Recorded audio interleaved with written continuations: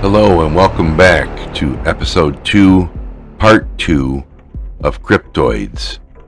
I spoke with Shetan Noir about Bigfoot and Dogman last week, particularly more about Sasquatch, and now this week's part 2 episode we begin to speak about Dogman and some of the findings that Shetan had while she was just going out on the beach not looking for any evidence. Listen in and see what's going on here. I took pictures of my foot right next to the footprints so that I could, because I was going to a big conference and I was going to be like, hey guys, come here. Yeah, exactly. Everybody, what is this? Stop to go potty and look at that. Uh-huh. Uh, and then everybody's like, well, where was this? Uh-huh. You know, I told them the exact location. They're all like, that's all the way over in Michigan. I'm like, well, I didn't say it was close. Right. Come on, guys.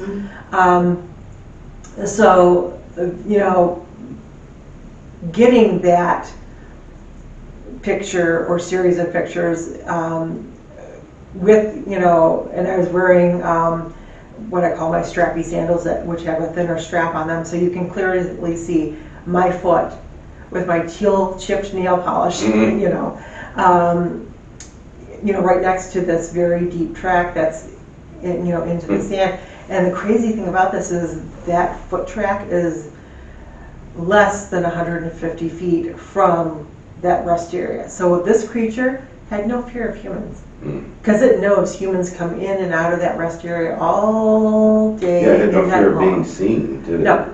Or interacting with humans, it just didn't care. It was going for a drink, it was going to go fishing, it was going to do whatever it wanted to do. And, oh well, if there's humans in the vicinity. Right, like what's somebody gonna do about it? Right. You know, Basically, Something that yes. large, you know. Um, hmm. And you, you know, you mentioned earlier that usually um, sightings are happenstance. Right. So is that more than likely why, probably like when we see see the TV shows of people out hunting Bigfoot, they might find some trace evidence, but you usually don't get any shots, right? Because- Well, so people, you know, there, there's a very weird expectation with um, the TV shows that do cryptozoology. Um, paranormal locations, you can usually get evidence in one night there, but when you're dealing with living, breathing creatures that roam in and out of an area, they're not contained at all.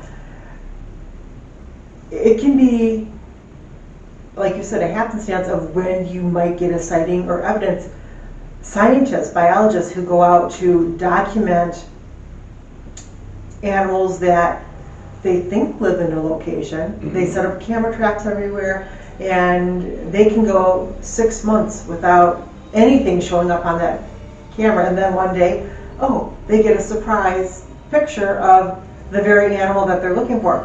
And a lot of times with these shows, the researchers are maybe in location for a week, maybe two weeks. And what normally happens, and any hunter will tell you this, when humans go into an area and they are either making noise or they're trying to be very discreet, scattered. the natural world realizes that, hey, there's somebody here, and will disperse. And it isn't until they become accustomed to the human being there, being, you know, being there, Mhm. that they will come back around. Birds are always around humans because they see us every day. And usually their interactions with us are we feed them. Right. We throw them, you know, ducks, geese, the same thing. But if you're in a lake where there's not human populations that are throwing out food, the ducks are going to be very wary of you. The same concept applies to the Bigfoots and the dogmen. They know that you're there, but they're going to watch you to see what you're doing. And some people, some researchers will say, well, we're going to act like we're camping. Because, you know, there's nothing threatening about camping. Sure. If anything, we're going to be entertainment for them. And they secretly put up cameras here and there and try to get, you know, um, footage. Sometimes they get some, sometimes they don't. Um, but it's always interesting when they don't have the camera traps that they will get encounters where they're in their tents, but something is brushing up against the tent. Something might pee on the side of the tent, marking it as territory. Yeah. Um, I know of uh, one Bigfoot researcher who, um, this was about five years ago when the peanut butter traps were really popular. They would open up a can of peanut butter and hang it um, with uh, twine or something from a tree in hopes that the Bigfoots would reach in and, you know, pull out the peanut butter to eat it and would leave hair. Uh, And I know of at least one researcher who that angered the Bigfoot, and when they got back to their tent, their tent was covered with peanut butter on the outside. It's, it's kind of funny. It's almost like he's got a sense of humor. Yeah, I mean, or, yeah. or it's like, uh, Yeah, I know how what you dare you do this? Yeah, I know what I'm going to wipe my here's, hands off. Here's you know? proof of it, yeah. Are they gonna come into your campsite and steal food? They Like can. The bear will? They can't, because to them, it's, well, if, if you're going to leave the food out, we're going to eat it. Right. And, you know, You know, I, I, I'm not an expert on cryptids. I, more of an expert on ghosts and demonic Mhm. stuff, you know, but, uh, I've, I've been doing a lot of reading lately because I want to get into, uh, understanding this more. And it seems to me like ninety percent of the times, the stories I hear about a Bigfoot or a Sasquatch, they're actually quite passive and they really don't seem to want to hurt people. They just kind of want to be left alone unless they present themselves to you. Where what I've read about the dog man, every single encounter from people's perspective of what they've witnessed supposedly is that these things are very aggressive, very Mhm. assertive. And um, it makes me wonder, you know, I mean, it's almost like a wild dog versus a monkey. Well, and that's where, that's where we have some misinformation because if you research wild canines like wolves and foxes versus primates like chimpanzees and apes, a lot of times what we see depicted of the ape behavior, they try to show them as a very passive animal, but research how chimpanzees go to war. It's not a pleasant thing because it's very, when zoos have a colony of existing chimpanzees or apes or bonobos or gorillas or um, anything of that matter, it's very hard to introduce a new member Mhm. to the group because they will attack it and kill it. Is that because they've, even if they're not with the same DNA, don't they kind of like cluster as a family after Yes. a while, right? There are family groups. Now, the only time there's a, a exception is when they get tired of the existing dominant male, the females will just get rid of him. Hmm. Or a bigger, younger Male will, male will come in and dispatch that other male, and then he's breeding with them. Um, but then the moms kind of have to worry about their new offspring because it's a very known fact that new males in a group will try to kill the other male's offspring I heard that. and the females aren't going to put up with that. So warfare in the animal kingdom is just as violent, whether it's primates or canines, even felines, um, that are similar in human behavior, but because we want to believe that the, the primates are civil and more peaceful, we, we don't tend to, you know, pay attention to that, but, um, the, the apes and the primates are, and the chimpanzees are just as likely to attack as the canines. So I, I would agree with people, you know, people think that the Bigfoots are more passive, and that's what, you know, people have, have been led to believe, but there's just as many reports out there of the Bigfoots being aggressive and not wanting the human activity, not wanting humans in their ter- territory, and doing what they can to chase them out, whether it's throwing rocks at them, um, stalking them, um, chasing them. Um, it's very unlikely that a human being would survive a Bigfoot I wouldn't see how, Attack. how you could, honestly. because one single chim- chimpanzee is strong enough to rip a human being apart. Right, Now double that, or more. Quadruple that Yeah. to the size of a Bigfoot Nine foot and tall hairy beast coming You- in. you- The Yeah. claws too, I mean, we don't have big claws to get back Yeah. at them, you know? you have, you have a, a animal that could easily pick up hundred pound boulders and just hurl them at Toss you. them Oh my Yeah. goodness. And if you get hit with a hundred pound, Oh, you know, boulder, you're not doing any much. You know, you're you're just, you're, you're going to become part of the landscape and. Um, Now, in the dog man, of course, we see it as more predatory because it's a canine. We know that wolves hunt, that's how they make their living. We know that coyotes hunt. Coyotes are the banes of farmers and ranchers everywhere, um, but they are just as important to the ecosystem because they will take out the sick and injured animals that will spread diseases to other populations. Sure. So, but we see the canines, you know, even though we have our, we all love our domestic dogs, you know, whether it's a Chihuahua or a Great Dane, um, in any breed in between. But when we see the wolves, we recognize that as a predator that is a threat to human beings. Sure, Now you scale that creature, that four-legged wolf, which are quite big, up to a seven to nine foot tall bipedal creature that hunts in a pack, and suddenly you have a very bad scenario for a human being encountering them. and yet people are out looking for them. And, and, you know, and I, I, I, stuff I read, you know, you don't know what's true and what's not, but, um, I'm getting the indication that a lot of people go out to actually hunt them, to, you know, to harm these things. And, No. and Which I don't agree with, by the way, just like. no, and, you know, and they say they, they do it for science. The problem with hunting and killing a dog man or a Bigfoot is, one, the only thing you're going to learn is the forensics from a corpse. You're not going to learn anything about intelligence. No behavioral activity. behavior, personality, none of that. Learning the skills, none of that.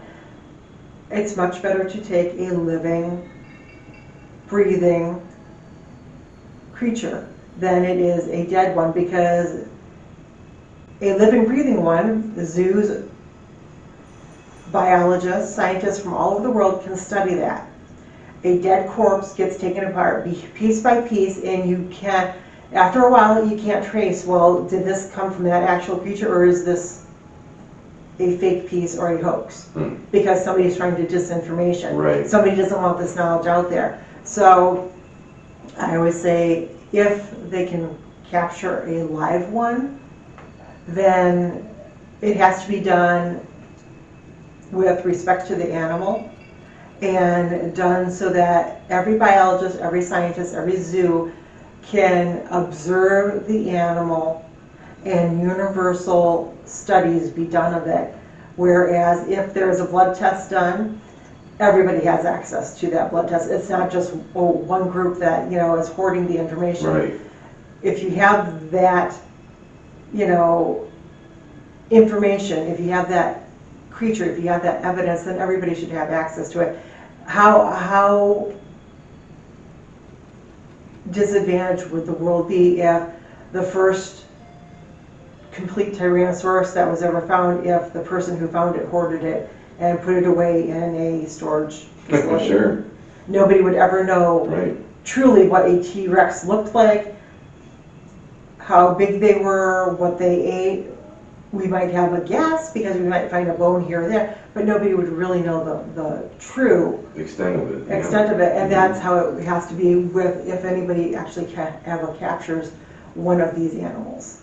And so, if I'm hearing you correctly, um, to go out and look for one of these bipedal creatures, these cryptoids, cryptoids, um, it's not really foolish as long as you plan on going out and respecting nature, right, and respecting not only you know the Sasquatch or the possible dogman you might encounter, but everything out there. Don't litter, you know. Right. Uh, leave less than what you bring, right? Right. Um, that type of thing, right? Like, like camping etiquette, so to speak, right? And then um, also, my understanding is that if you are non-threatening, like say you're not being super loud or shooting off guns and stuff arbitrarily and things like that.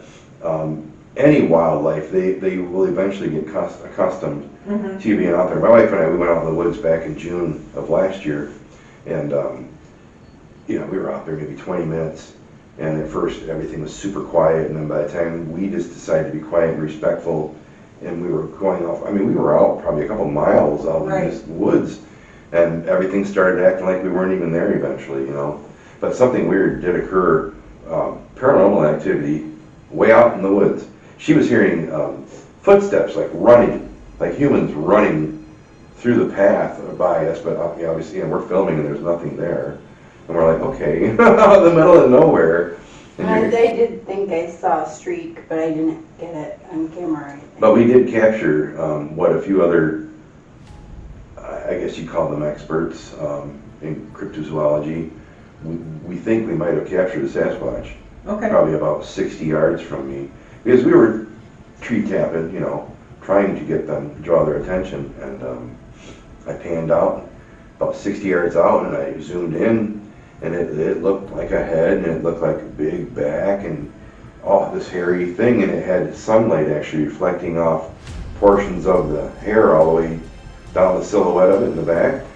And then by the time I panned back, it was gone.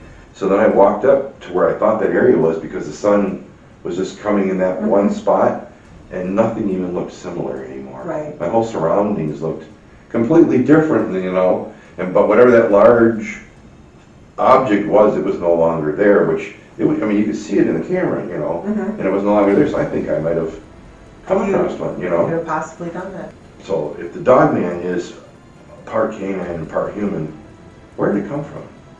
And that's, that's, you know, the question that we keep asking, because the Sasquatch, by all directions, every avenue that you look at, should be here on Earth, because we have the fossil records of the primate family tree.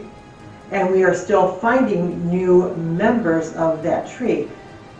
And so we know that the Bigfoots are here, we know that the Sasquatch are here, and they fit into this higher area of the family tree that has human beings, um, the chimpanzees, um, most of your prehistoric human beings, the Neanderthals, Cro-Magnon man, um, who have established themselves in different parts of the world Mhm. and then melded together. What we don't have is a fossil that says a upright walking canine should be living here on Earth. We have, so in terms of big canines, everybody looks at the dire wolf. Well, now paleontologists, now biologists are re-examining the dire wolf because we don't know if it was actually a real wolf or if it was this weird area that maybe it was more hyena, maybe it was more big cat. Even things like Smilodon, they don't think were feline. They are putting them now in this bubble area in between canine, feline, and hyenodon. So hmm. you've got, you know, this bubble area where we're pulling information from, but we don't know if it's, you know, we're gonna throw it at the board and just see if it sticks. But canine wise, so we know that gray wolves and timber wolves are quite large, but are they bigger than a Great Dane? Are they bigger than an Irish Wolfhound? Those are your two tallest dog canines in the world. Are they bigger mass wise than an English Mastiff, a Tibetan Mastiff, um, the Caucasian um, Anatolian Shepherd? I know there's a bigger one out there, but um, I, I've seen pictures of it, but I'm not quite sure. Um, those are very large, 200 pound dog breeds. Even your Newfoundlands and St. Bernards are giant dog Oh, breeds. yeah, huge. So we have those big dog breeds, but none of those can walk bipedal. They are not structured. We have seen people train dogs to walk on their hind legs, things like Belgian Malinois and Doodles, um, uh, poodles and Yeah, little uh, Shih Tzus and Bichons. stuff. and, Um, yeah. but their, their hip structure is different, their body frames are different. They can support themselves, but they can't do it for a long period of Right. time. Just like we've seen bears can walk on their hind legs, but they don't do it for a long time. With the dog man, we're talking about a canine creature that is bipedal, and there's a difference between dog man and the superstition supernatural werewolf, which is a human that turns into a canine type creature. They're totally separate.